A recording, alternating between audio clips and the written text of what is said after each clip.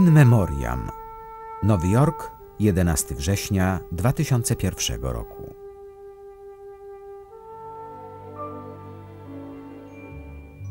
Mówi Rudolf Giuliani, ówczesny burmistrz Nowego Jorku. Uh. Jestem zakochany w Nowym Jorku, odkąd sięgam pamięcią. Kiedy byłem małym chłopcem z Brooklynu, rodzice zabierali mnie na Manhattan. Sylwetka Nowego Jorku już z dala była dla mnie zawsze cudownym i dojmującym wyrazem tego, czym w ogóle jest Ameryka. Uważam, że Światowe Centrum Handlu było jednym z najbardziej wyrazistych, okazałych symboli amerykańskiej wolności, zwłaszcza wolności gospodarczej. Lubię tę jego sylwetkę na tle nieba i wielokrotnie to fotografowałem. Robiąc to kilka razy, na długo zanim zostałem burmistrzem, wchodziłem na jezdnię. To było trochę niebezpieczne, bo samochody jeździły obok mnie, ale mogłem zrobić wspaniałe ujęcia World Trade Center. September 11, uh, 11 września zapowiadał się dla mnie dość uh, spokojnie. To był piękny dzień. It was a beautiful day.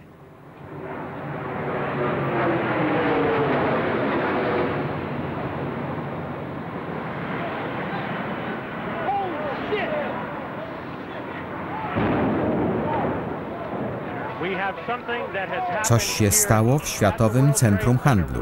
Widać płomienie i strasznie dużo dymu wydobywającego się z jednej z jego wież. Wydobywa się dym. Budynek został przecięty niemal na wylot. Zobaczyliśmy kłąb ognia. Wydaje się, przynajmniej z naszego miejsca, że druga wieża nie została uszkodzona. To chyba tylko wieża numer jeden.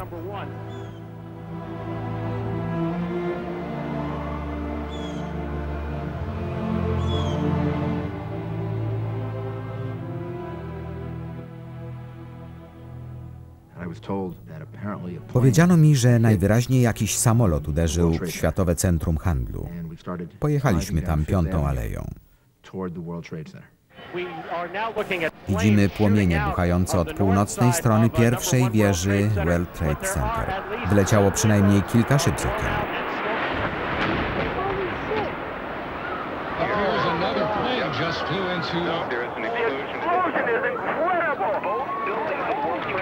Oba budynki Światowego Centrum Handlu stanęły w ogniu. Z obu wież wydobywa się czarny dym. Nagle zobaczyłem olbrzymi wybuch płomieni. W tym momencie wszyscy doszliśmy do wniosku, że to najwyraźniej atak terrorystyczny.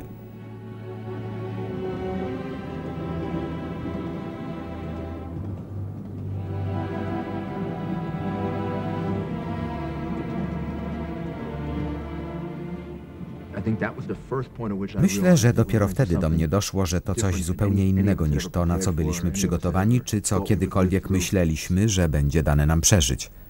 Zdałem sobie sprawę, że dotyka mnie jakieś straszliwe, przerażające doświadczenie ludzkości. Widać ludzi skaczących z okien. Widać ciała spadające z górnych pięter Światowego Centrum Handlu. Tu jest okropnie, ludzie stoją na ulicy cali we łzach, są spanikowani, telefonują do swoich bliskich. Pewna matka opisała mi rozmowę telefoniczną ze swoim synem, gdy uderzył drugi samolot. Wtedy rozmawiała z nim po raz ostatni. Członkowie innej rodziny mówili mi, że ich bliski przepuścił dwie windy, bo był starszy, a tam jechali młodsi. Wtedy przypomniały mi się opowieści, które słyszało się o the Wiele osób miało wejść do łodzi, a odmówili, bo byli starzy.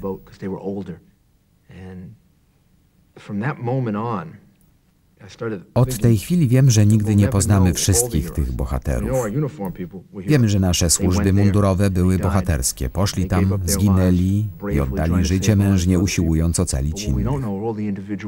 Ale nie znamy wszystkich indywidualnych losów. Tego człowieka, który ustąpił miejsca w windzie innemu, tej osoby, która kogoś uspokajała i wyprowadziła go z budynku, tej osoby, która tak zorganizowała ludzi na swoim piętrze, by wszyscy mogli być ewakuowani, tego człowieka, który być może do ostatniej chwili pocieszał innych, gdy wszyscy już wiedzieli, że zginą. Wygląda na to, że wali się cały budynek.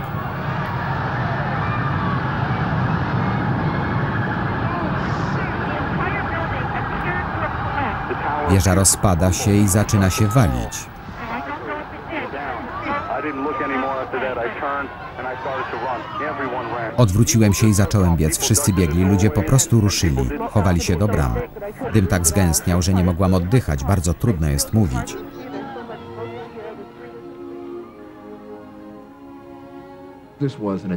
Ten atak miał nas zniszczyć, bo nasz kraj został zbudowany na zasadach wolności i wolność dała ludziom szansę wybicia się. Because of free will, people get a chance to distinguish themselves. Ta wspaniała cywilizacja amerykańska powstała bez opierania się na jakiejkolwiek grupie etnicznej, ani na żadnej rasie, ani na żadnej religii. Jest oparta na ludziach wierzących w wolność.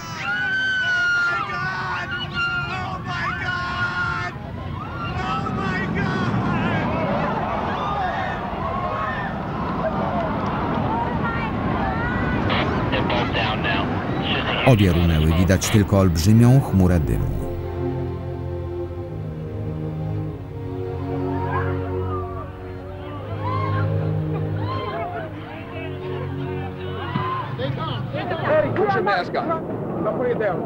Panie burmistrzu, jaka jest teraz sytuacja? Sytuacja jest taka, że dwa samoloty zaatakowały. Co?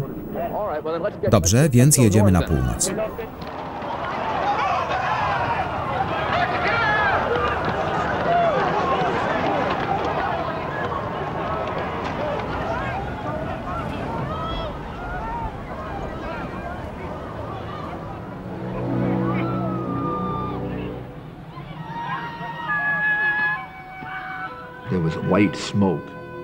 Ulicami gnał biały dym. To był najgorszy, najstraszniejszy pożar. Pomyślałem o ludziach, którzy mogli znaleźć się w pułapce. Czy są tacy? A jeśli są, czy zdołają ocaleć? Pamiętam, pomyślałem, że tak musi być w piekle. To musi być tym, um, co Dante opisał jako piekło.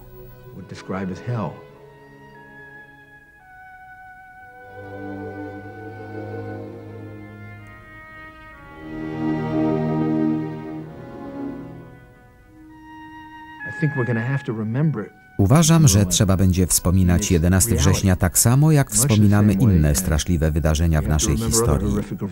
Bo to mobilizuje ludzi do szukania sposobów uniknięcia czegoś podobnego w przyszłości.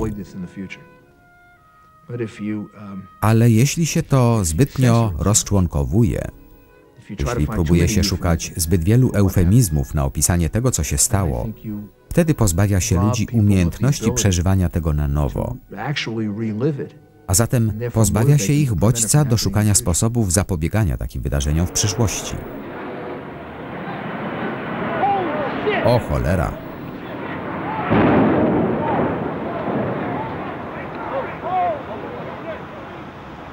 Oh. Boże, to była potworna eksplozja. I'm sure everybody in the Na city pewno zbiegnie się całe miasto. Będą setki zabitych.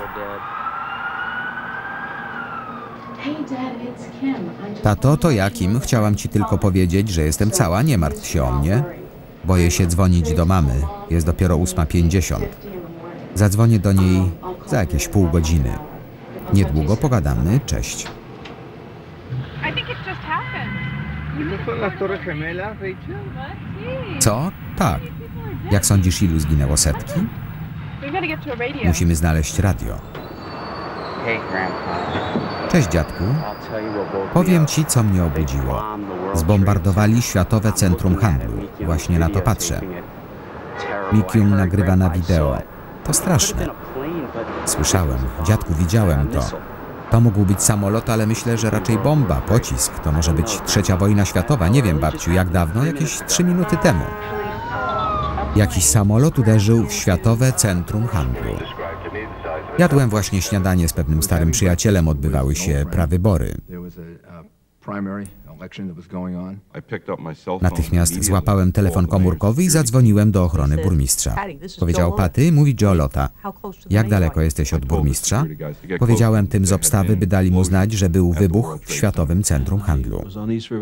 Byłem na East River Drive, kiedy zauważyłem dym. Powiedziałem kierowcy, żebyśmy tam pojechali, ale może to chmura. Odpowiedział, że tam na pewno coś się stało. Powiedziałem, że trzeba tam zaraz jechać. Musimy się tam od razu kierować. Szczegóły poznamy po drodze.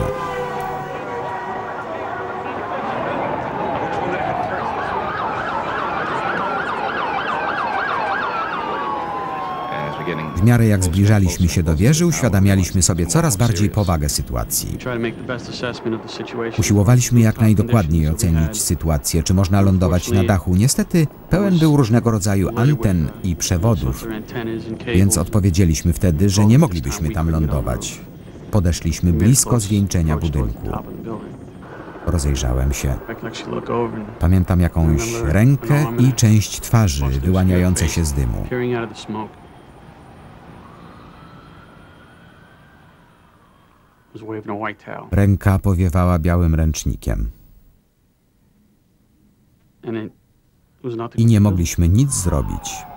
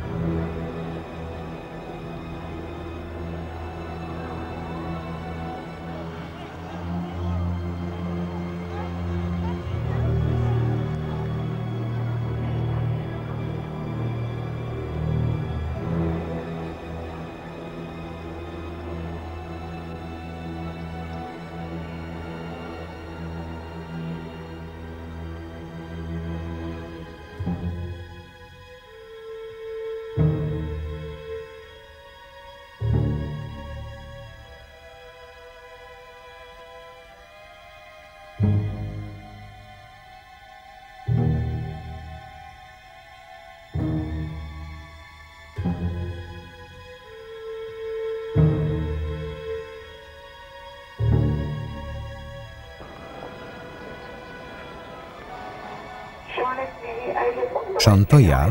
Chcę ci tylko powiedzieć, że cię kocham i że utknęłam w tym budynku w Nowym Jorku. Neil tu Brian. Samolot wyrżnął w Światowe Centrum Handlu. Pali się, a ja jestem w środku i nie mogę oddychać. Jill, na moim piętrze jest pożar. Kocham cię. Powiedz Nicole, że i ją kocham. Nie wiem, czy z tego wyjdę. Bardzo was kocham.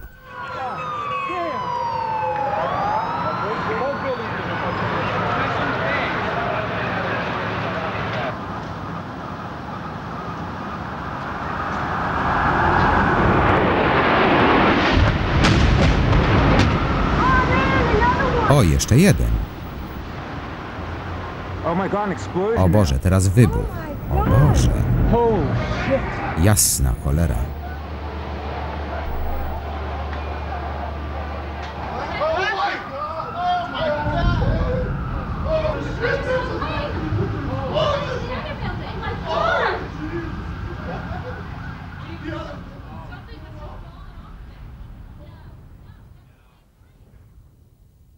And within a minute, I got a call. Minucie dostałem telefon. Policjanci powiedzieli, że drugi samolot zaatakował wieżę numer dwa. Wówczas wszyscy zrozumieliśmy, że to atak terrorystyczny.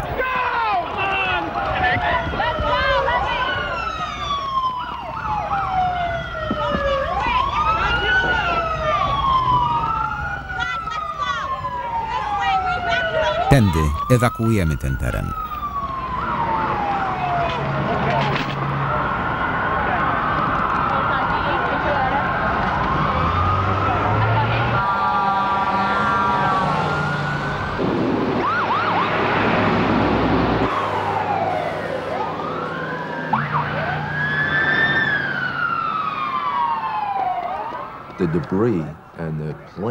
Gruz szczątki samolotu spadały na nas i niektórzy moi ludzie zaczęli krzyczeć, żeby się wynosić i pobiegliśmy West Street na północ, żeby uciec od tego gruzu, bo spadał na nas.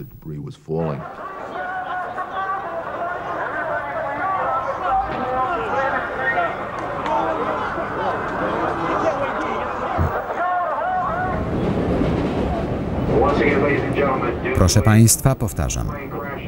Powodu uderzenia samolotu w Światowe Centrum Handlu wprowadzone zostały do odwołania następujące zmiany w rozkładzie. Wszystkie pociągi linii W dojeżdżają tylko do 36 ulicy. Dotarliśmy do Barclay Street, dwie przecznice od pierwszej wieży Światowego Centrum Handlu. Musieliśmy się tam zatrzymać. Wyskoczyłem z samochodu i zobaczyłem, że komisarz policji i zastępca burmistrza Jolota biegną do mnie. Komisarz policji dogonił go i zaczął informować o wszystkim, co wiedział, a o czym my wiedzieliśmy wtedy bardzo mało. To był atak lotniczy, a ja nie mam lotnictwa wojskowego, więc pierwsze, co mi przyszło na myśl, to, że musimy zamknąć przestrzeń powietrzną i wezwać pomocy lotnictwa. A czy jest tylu, by to wykonać? Kiedy spojrzało się do góry, widziało się tylko płomienie wydobywające się z budynku. Zewsząd spadał gruz. Niepokoiliśmy się, że coś może uderzyć burmistrza. So I started looking up. and Idąc, I spojrzałem do góry. Patrzyłem na pierwszą wieżę i nagle zobaczyłem człowieka wypadającego ze sto któregoś piętra. And all of a sudden, I saw a man come out of the hundred. To była wyraźnie sylwetka człowieka. Byłem wprost porażony. Patrzyłem jak spada, a potem uderza o ziemię. Ground.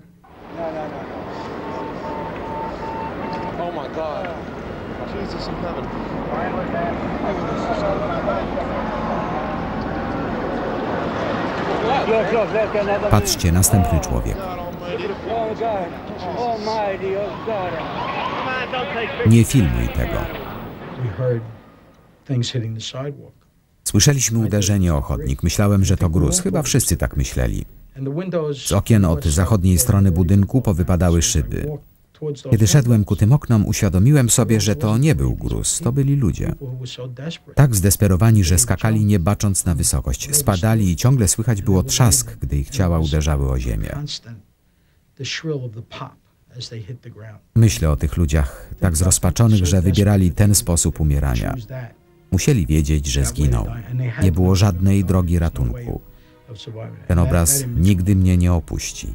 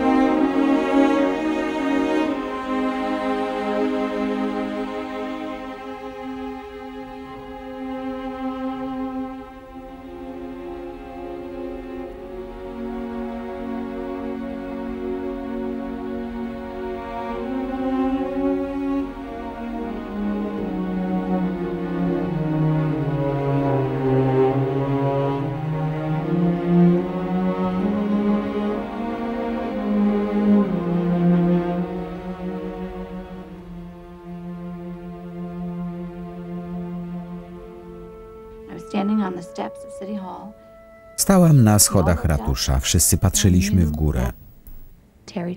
Wiedziałam, że Terry będzie na jednym z najwyższych pięter, gdzie uda mu się dotrzeć, bo na tym polega praca jego zespołu. A kiedy zobaczyłam, jak cały budynek się wali, wiedziałam, że nie ma żadnych szans.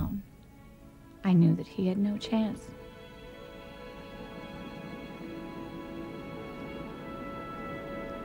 His friend Tim Jego przyjaciel Tim powiedział mi, że widział Terego wchodzącego do środka. Terry powiedział mu, że może już więcej się nie zobaczą. Pocałował go w policzek i wbiegł po schodach.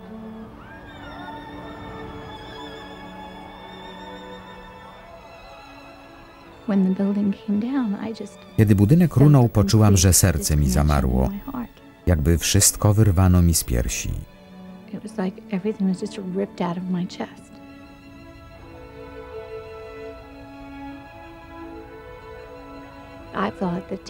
Pomyślałam, że Terry po prostu został spopielony.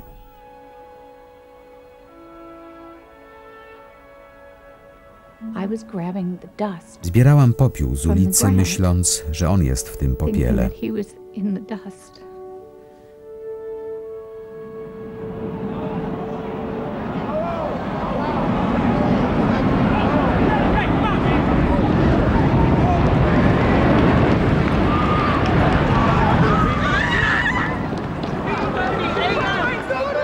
Moja córka. Moja córka jest tam, w tym budynku.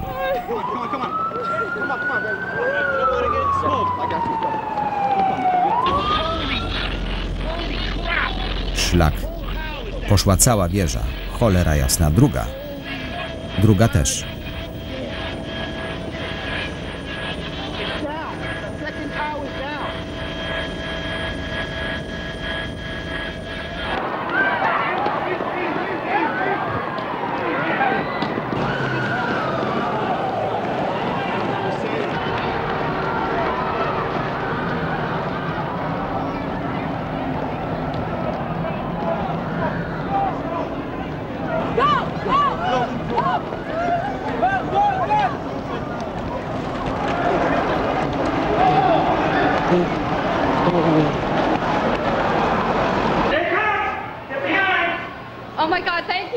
Boże, dziękuję, bardzo dziękuję.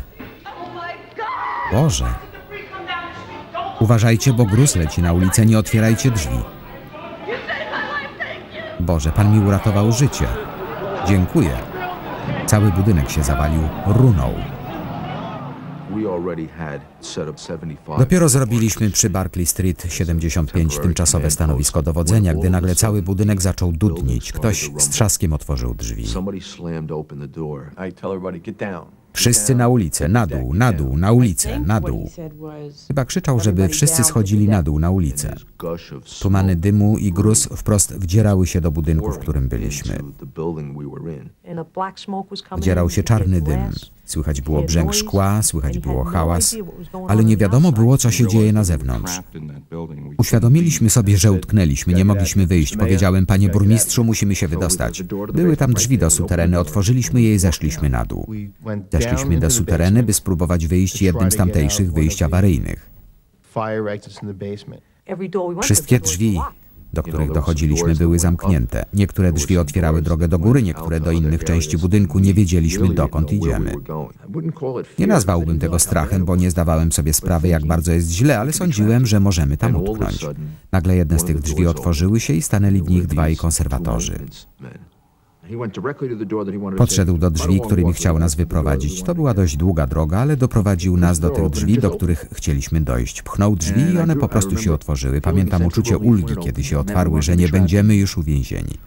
Przeszliśmy przez te drzwi prowadzące do głównego wejścia przy Church Street 100, które jest właściwym głównym wejściem. A kiedy wyszliśmy, popatrzyłem na zewnątrz i wcale nie byłem pewien, czy w pułapce nie było nam lepiej.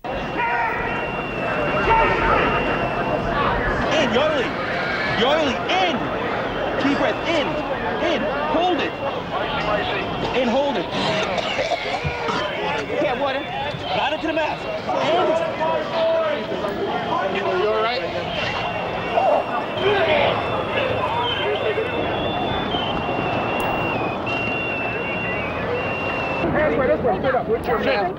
Załóżcie maski.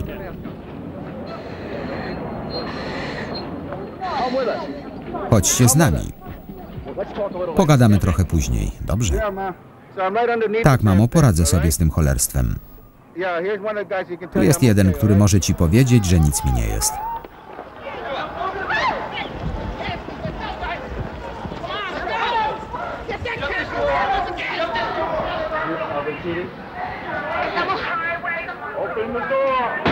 Otworzyć drzwi.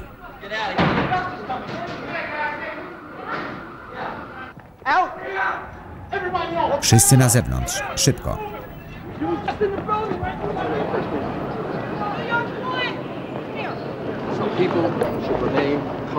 Ludzie powinni zachować spokój. Powinni pozostać tam, gdzie są, chyba że są na południowym Manhattanie. Jeżeli ktoś jest poniżej Canal Street, powinien opuścić południowy Manhattan i udać się na północ, tak jak ci ludzie.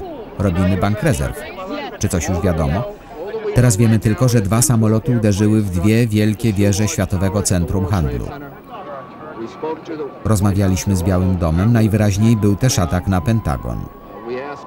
Poprosiliśmy, żeby przestrzeń powietrzna wokół Nowego Jorku została zamknięta przez lotnictwo wojskowe. Poinformowano nas, że już to zrobiono i widzieliśmy samoloty wojskowe w powietrzu. Mamy więc nadzieję, że sytuacja jest bezpieczna. Potrzebujemy dużo wolnego miejsca, by ewakuować tam ludzi. Musimy ruszać i kierować się na północ.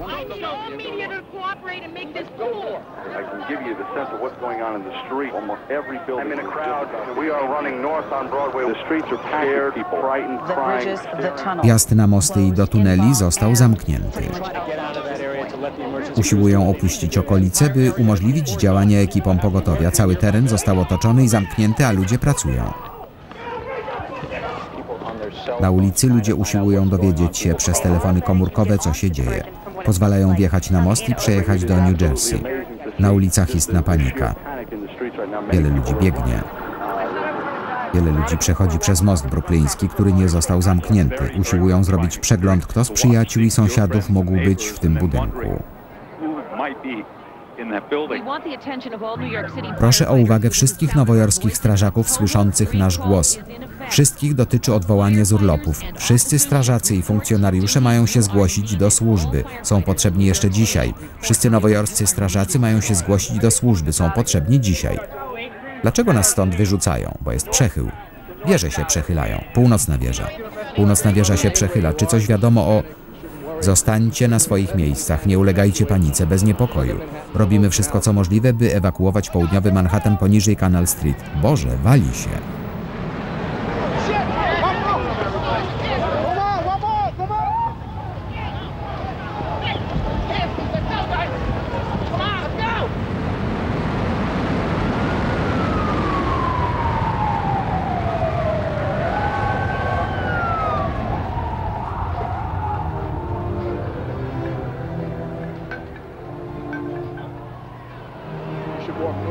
Powinniście iść na północ.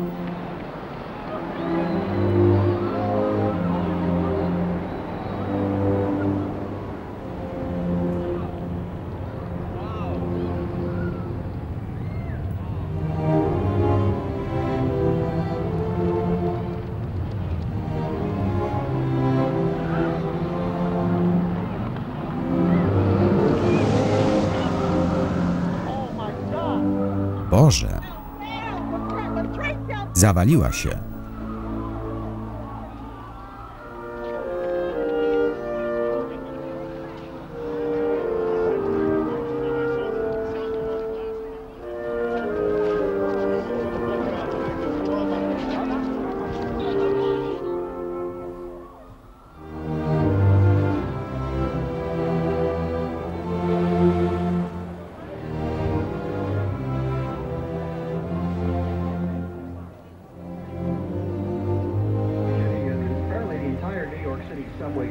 Najwyraźniej zamknięto całe nowojorskie metro. Blokady są zarówno nad, jak i pod ziemią.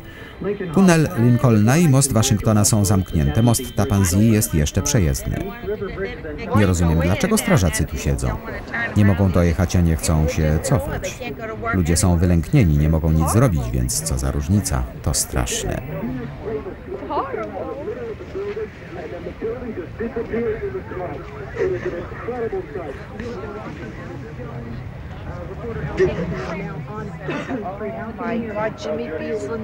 Boże, żona Jada Gleasona, ona pracuje w World Trade Center. Tam pracuje 40 tysięcy ludzi. To straszny cios. Widzę budynki w kłębach dymu. Budynki i dym? Tak. Teraz nie ma paru budynków. Ale ja nie chcę tych budynków i tego dymu. Żeby nikt nie ucierpiał, tak? Tak. Niczego gorszego w życiu nie mogłem sobie wyobrazić. Szczerze mówiąc, boleję, że to widziałem. Burmistrz ma się z wami skontaktować. Burmistrz Giuliani kontaktuje się z nami telefonicznie. Chciałbym skorzystać z tej okazji i powiedzieć wszystkim, by zachowali spokój. To straszna sytuacja. Mogę tylko powiedzieć, że wszelkimi dostępnymi środkami próbujemy ratować tak wielu ludzi, jak to możliwe. Wielu ludzi zginęło. Zginęło strasznie dużo ludzi. Jeszcze nie wiemy ilu. Wielu funkcjonariuszy policji, wielu strażaków, wielu członków ekip ratowniczych, którzy tam byli. Przenieśliśmy zarząd miasta do remizy strażackiej w Greenwich Village. Stąd teraz dowodzę. Warunki są trudne. Dużo ludzi poległo.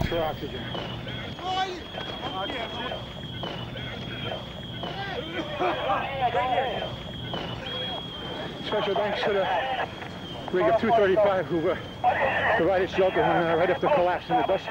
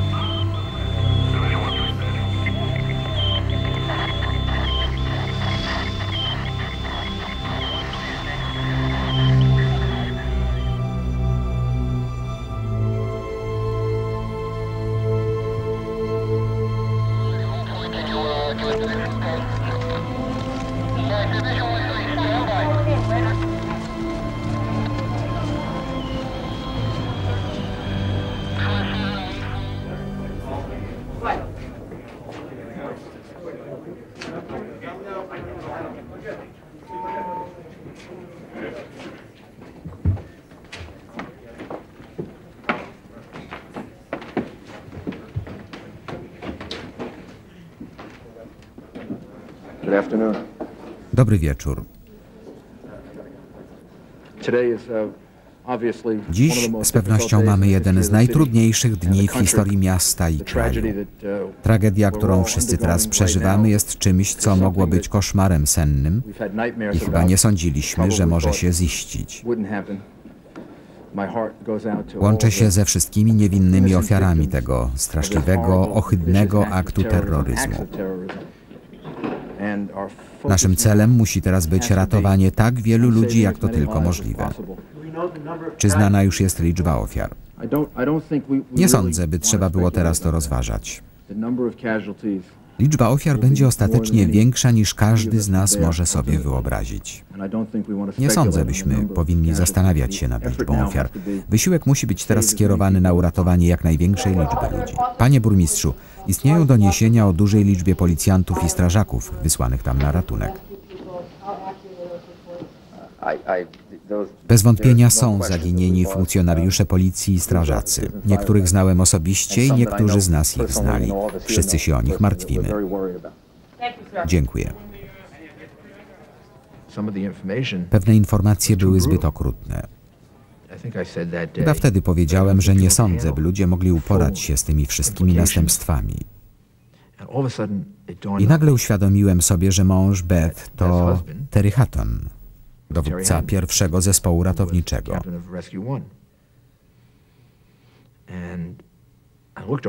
Popatrzyłem na nią i zapytałem, Terry ma dziś służbę? Powiedziała, że tak i łzy popłynęły jej z oczu. Spojrzała na mnie i powiedziała, on nie żyje. Wściekłam się na to. Nie wiesz tego, Bet, tego nie wiesz. Odpowiedziała, wiem to, czuję to i wiem. Czasami po prostu martwię się, że się bał. Ale znając go, myślę, że był całkowicie skupiony na swoim zadaniu. Um, I, Czasami mnie to denerwowało.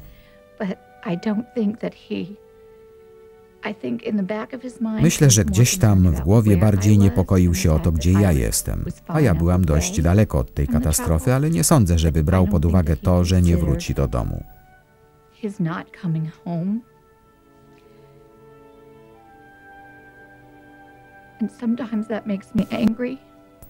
Czasami mnie to złości. He Didn't choose me. To niemal tak, jakby to nie mnie wybrał. But I can't blame Ale him. nie mogę go za to winić. Wykonywał swoje zadanie. Taki już był i za to tak bardzo go kochałam. Więc nie mogę go za to winić. Przepraszam. Wtedy podszedłem do niej i objąłem ją. Powiedziałem, że jest mi przykro. Po prostu bardzo mi przykro. Zrobimy co tylko możliwe, żeby go odnaleźć. Zobaczymy, czy uda się go odszukać. Widziałem dziesiątki strażaków idących na teren Światowego Centrum Handlu. Słychać syreny, wozy policyjne jeżdżą środkiem ulicy. Ciągle się czuje, że sytuacja nie jest jeszcze całkowicie opanowana. Zamierzamy dostać się do budynków i zorganizować tam punkt pomocy. Potrzebujemy narzędzi i ludzi.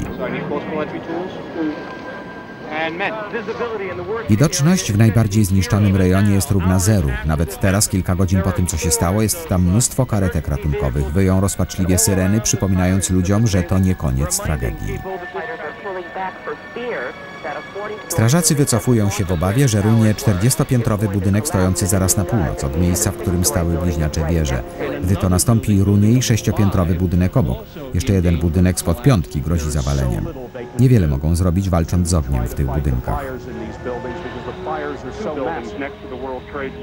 Oba budynki sąsiadujące z World Trade Center stoją w płomieniach. Ogień bucha z okien obu gmachów. Unosi się czarny dym.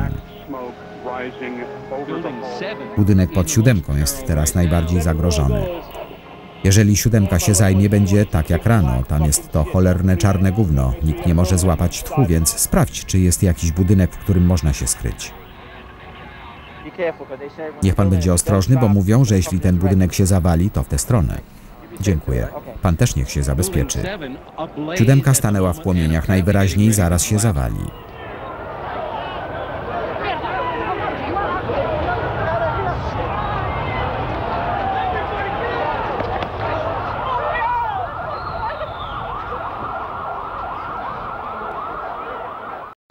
hearts go out to all, all of the people affected. Łączę się sercem ze wszystkimi, których to dotknęło. Nie zasługują na taki los. To niewinni ludzie. A atak jest straszny. Uważa się, że ataki węży są podstępne. Ten atak nie miał żadnego celu wojskowego. To było tchórzliwe, straszne, okropne. Mieszkańcy Nowego Jorku znowu pokażą światu, tak jak to było, gdy dawniej poddawano nas próbom, że jesteśmy silniejsi od tych barbarzyńców.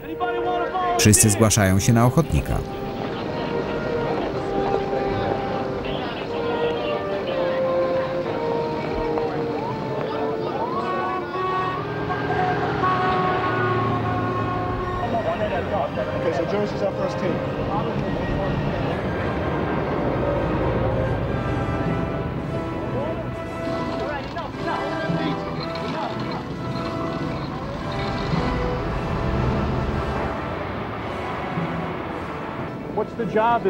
Co oni tu robią? To co trzeba. Ratują kogoś. Uratowany człowiek to uratowane życie. Team 13. Zespół 13 zorganizowaliście się? Po prostu informuję, że mamy 140 paramedyków. Gdzie jest jedenastka?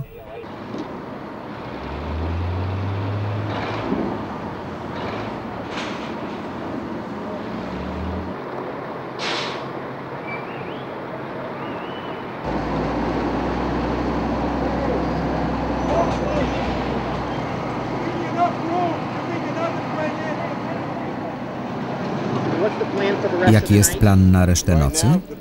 Teraz trwa usuwanie gruzu i poszukiwanie ofiar. Co pan czuje, widząc to wszystko? Wściekłość. Za dużo tego. Myślę o tych wszystkich cywilach i funkcjonariuszach, którzy tu pracują. To wszystko dotrze do nas za parę dni, kiedy zaczniemy to wszystko ogarniać. Co pan czuje teraz? Chęć zemsty, ból,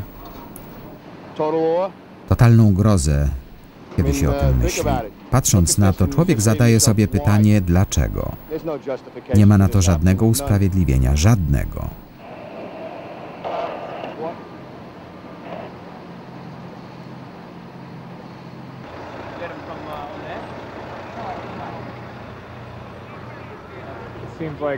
Wygląda na to, że nikt tu nie przeżył.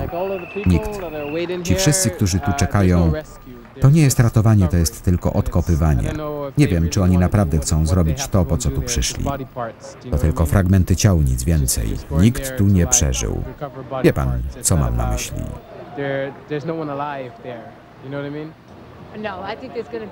Nie, sądzę, że tam mogą być ludzie. Słyszałam, że ktoś to mówił. Po co by organizowali tych wszystkich ludzi, gdyby nikt nie ocalał? Tam musi ktoś być. Nie można się poddawać. Poczekajmy, okaże się.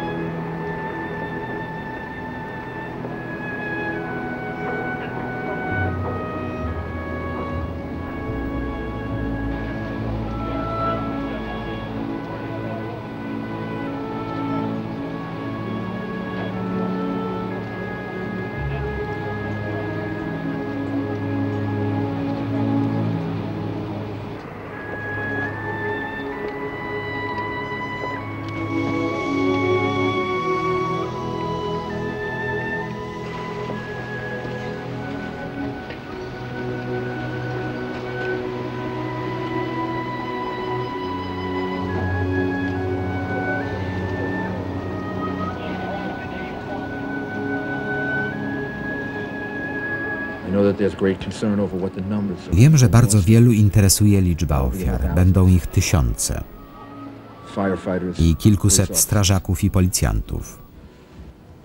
Straciliśmy zastępcę naczelnika straży pożarnej i samego naczelnika.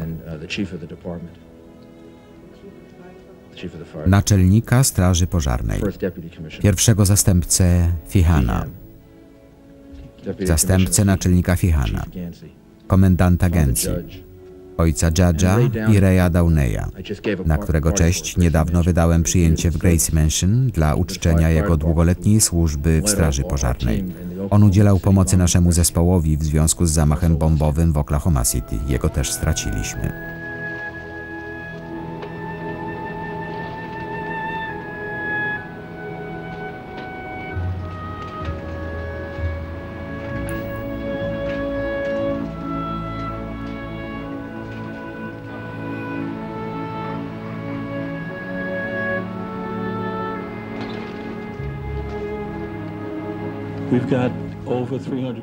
Odnotowaliśmy zaginięcie ponad 300 strażaków, których nie mogliśmy się doliczyć. Uh, are Sądzimy, że wielu z nich poległo. Um. My nadal ich szukamy. Setki ludzi uh, starają się przeszukać jak najwięcej miejsc, w których można było ocaleć i gdzie wciąż jeszcze można oddychać i żyć. Ale wiemy też, że wielu z tych ludzi zginęło. Uh, Nie udało się ich wyciągnąć.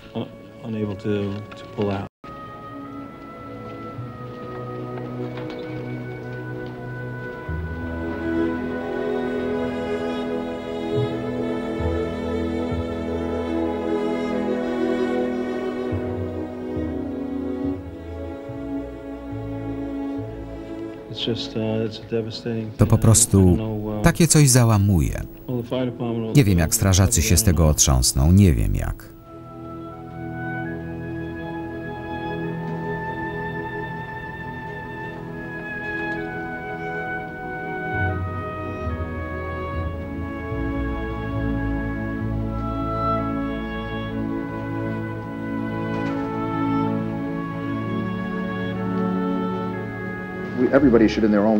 Każdy powinien się pomodlić na swój sposób, prosić Boga o pomoc i opiekę, prosić Boga o siłę przetrwania, bo będziemy potrzebować tej siły. Chcę, aby mieszkańcy Nowego Jorku stali się przykładem dla reszty kraju i reszty świata na to, że terroryzm nas nie powstrzyma. Amerykańska demokracja jest znacznie silniejsza niż podstępny i tchórzliwy terroryzm. Przetrwamy to.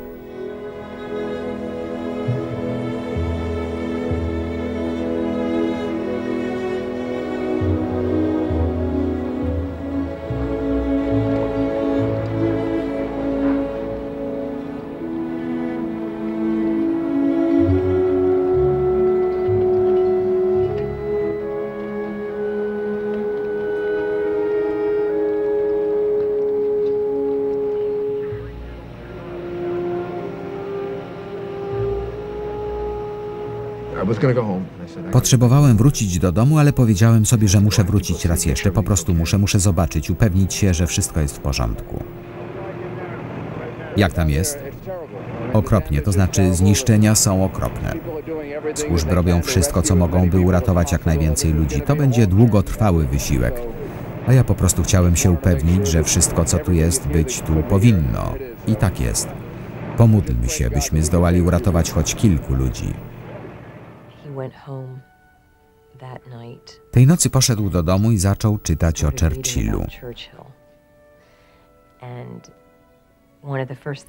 Następnego ranka, kiedy mnie zawołał, od razu powiedział: Dowiedziałem się z tej książki czegoś, czym chciałbym się ze wszystkimi podzielić. Bo wyobraź sobie, co czuli Brytyjczycy, gdy nieustannie spadały na nich takie ciosy.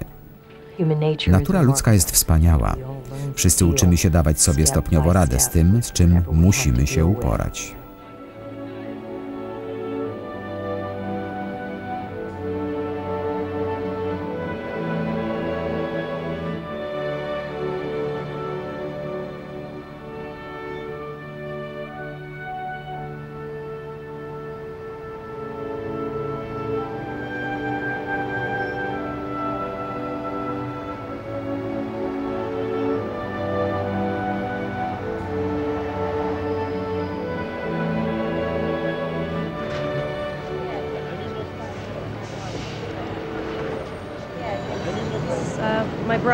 To mój brat. Czekamy na odnalezienie go. Wiemy, że jest gdzieś tutaj, tylko nie wiemy gdzie. To mój partner Wesley Mercer. Pracuje u Morgana Stanleya. Był w drugiej wieży na 44 piętrze. Jest wiceprezesem do spraw zabezpieczeń. To mój brat. Niedawno się ożenił. Lada dzień ma mu się urodzić pierwsze dziecko, więc jego żona nie mogła przyjść z nami, ale jest tu matka jego i moja.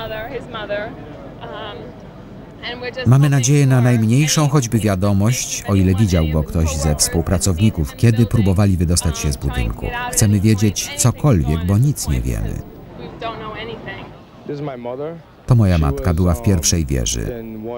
Po raz ostatni mieliśmy od niej wiadomość o 8.39 rano. 8:39 in the morning. She called my Zadzwoniła do mojego dziadka i um, utknęli. Um, Była na 79 piętrze, a wszystko dokoła już się zawaliło. Korytarz się zawalił, toaleta się zawaliła, nie mieli żadnej drogi ucieczki, wszystko stało w ogniu. Ostatnia wiadomość, jaką mieliśmy od niej, była tym, co zostawiła w poczcie głosowej na telefonie mojej siostry, mówiąc, że będzie dobrze i że jeszcze do nas zadzwoni, więc czekamy na jej telefon. Szukamy Betsy Martinez, to jedna z naszych przyjaciółek, naszych najlepszych przyjaciółek. Nie mogę mówić. Była jedną z naszych przyjaciółek, pracowała w pierwszej wieży Światowego Centrum Handlu. Ma dwie córki, nie mamy od niej żadnej wiadomości, niczego. Jestem zrozpaczona. Chcę widzieć się z moją siostrą. To jest jak szukanie igły w stopu siana, przynajmniej w tej chwili. Modlę się, żeby wszystko skończyło się szczęśliwie. To bardzo silny chłopak, bardzo oddany człowiek. He's a very loving person and and they didn't so we're just hoping we'll Po find prostu mamy nadzieję, że go odnajdą.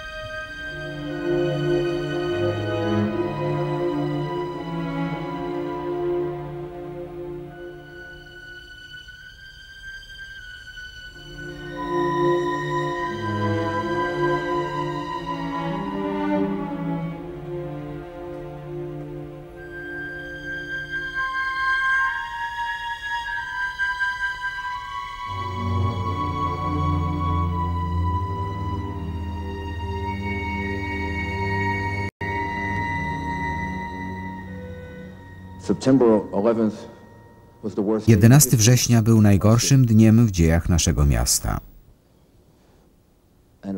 które już nigdy nie będzie takie samo. W następstwie zniszczeń są straty w ludziach tak wielkie, że trudno się z nimi pogodzić. I tak będzie przez pewien czas.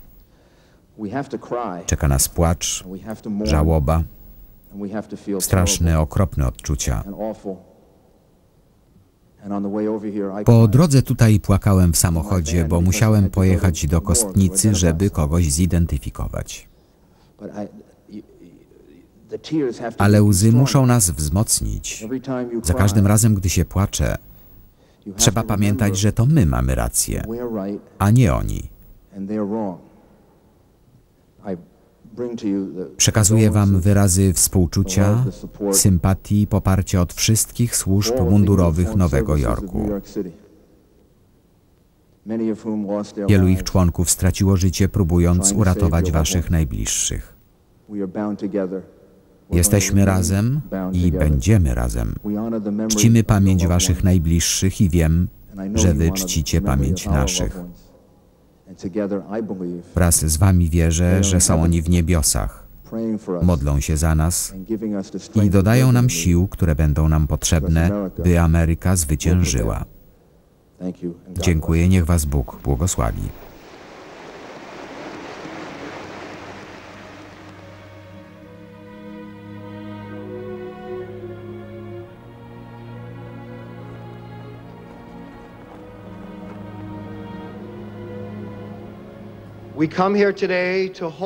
Przyszliśmy tu dzisiaj, by podtrzymać tych, którzy tak bardzo cierpią, wspomóc tych, którzy tak bardzo potrzebują i wysłuchać tych, którzy tak bardzo rozpaczają. Straciliśmy rodziców, braci i siostry, synów i córki, mężów i żony, krewnych i przyjaciół. Byli niewinni, a zostali tak brutalnie, podstępnie i okrutnie nam zabrani.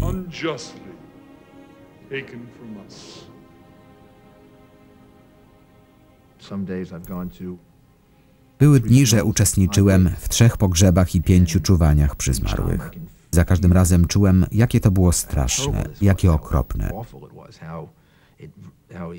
Myśli się o wielkiej liczbie, która później staje się poszczególnymi osobami, jedną, dwiema, czy trzema, czy pięcioma osobami, czy sześciorgiem dzieci bez ojca. I człowiek po prostu zaczyna płakać.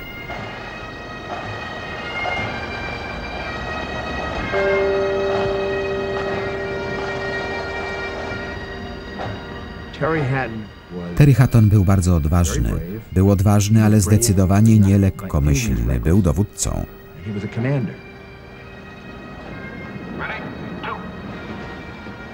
He's what I'd like my son to be. Był taki, jakim chciałbym, żeby był mój syn. Miał piękną żonę, dziecko w drodze, o którym jeszcze nie wiedział, bo nie dożył tego, by się dowiedzieć.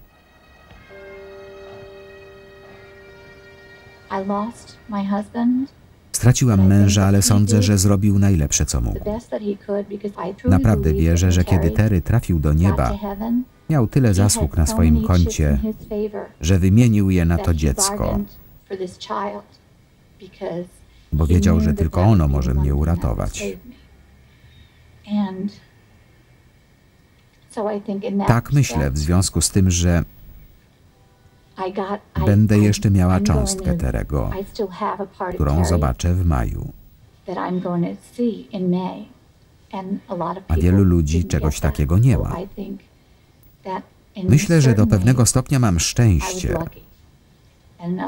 a pod innym względem oczywiście nie.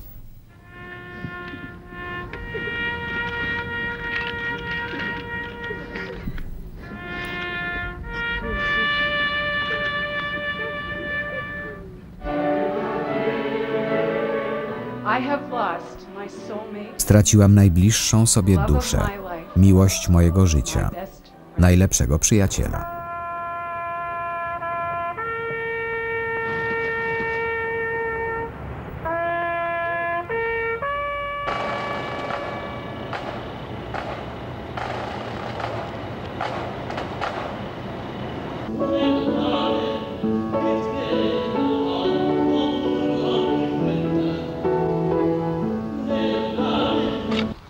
اللهم يا ربنا إن كان محسنا فزد في إحسانه.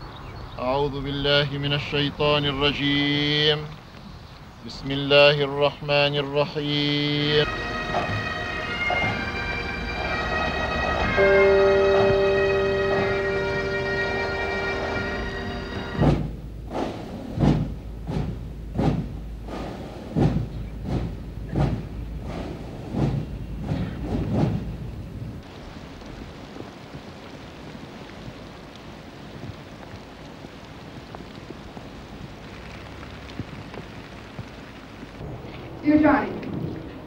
Kochany Johnny, Alex, Anna i ja chcemy Ci tylko powiedzieć, że Cię kochamy. Mogłabym stracić tak wiele rzeczy, najważniejsze, żeby mieć Ciebie przy sobie.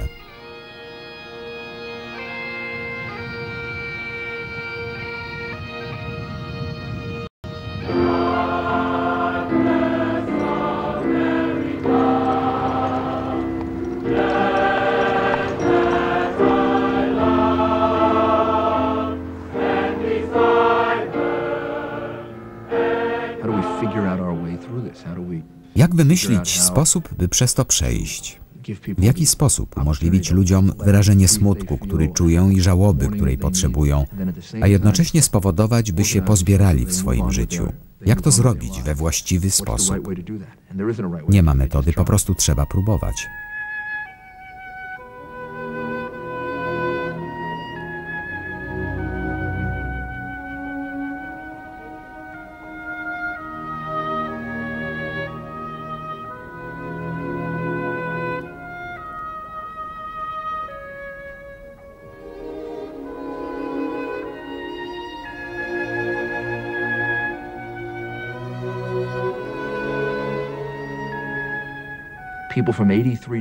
W. Światowym Centrum Handlu zginęli ludzie z 83 krajów, więc to nie był tylko atak na Amerykę.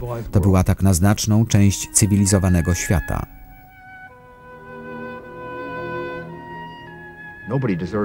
Nikt nie zasługiwał na śmierć. Nikt w tych budynkach nie zasługiwał na śmierć. Ci ludzie tam po prostu pracowali. Przychodzili i pracowali restauracji, przy sprzątaniu gmachu, czy też dostarczając coś lub dokonując transakcji handlowych czy operacji finansowych. Powinniśmy wszystkich uważać za bohaterów i patriotów. Oddali życie dążąc do spełnienia amerykańskiego snu.